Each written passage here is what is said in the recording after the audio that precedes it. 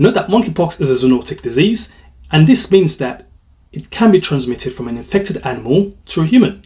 Now, monkeypox originated from animals, as it was found in a group of colonies of monkeys back in 1958 that were being kept for research purposes. So since then, monkeypox have been found mainly in animals.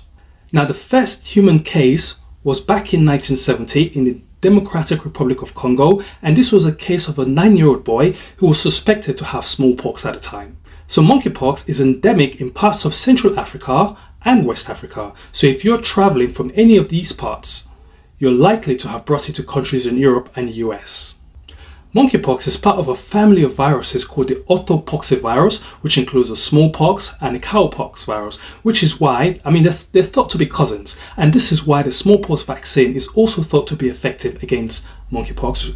I think it's got about 85% effectiveness. Now, most cases of monkeypox in animals have been in rodents and primates such as rabbits, mice, rats, squirrels, and monkeys, as we've mentioned. So monkeypox is usually transmitted via two ways. You've got the animal to human transmission and you've got the human to human transmission. So if you look at the animal to human transmission, we're looking at direct contact, which can include a scratch or bite from an infected animal, touching or petting the infected animal, as well as contact with bodily fluids, whether it's the urine, feces, saliva, or blood.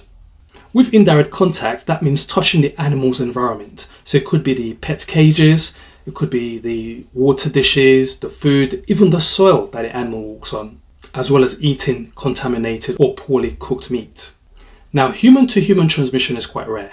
So usually you expect the virus to go through broken skin and that includes the mucous membranes of the eyes, the nose, the mouth. It was thought that majority of monkeypox was contracted by humans through inhalation of the respiratory droplets, whether it's by sneezing, coughing, or even talking while a small proportion was through direct contact with bodily fluids, and that includes prolonged face to face contact, as well as indirect contact with contaminated clothes and contaminated bedding.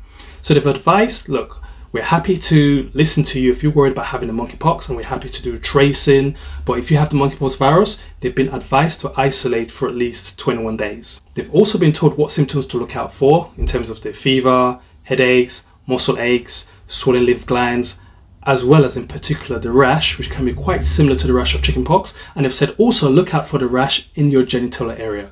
Initially, monkeypox is thought to be common in the face and the hands and can also spread to other parts of the body. But you've also been told look out for monkeypox virus or the rash in your genital areas.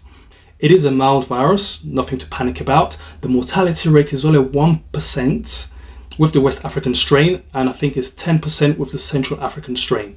But majority of illnesses are mild and most people recover within 2 to 4 weeks. If you like my video and you want to subscribe to more videos, please subscribe to my channel.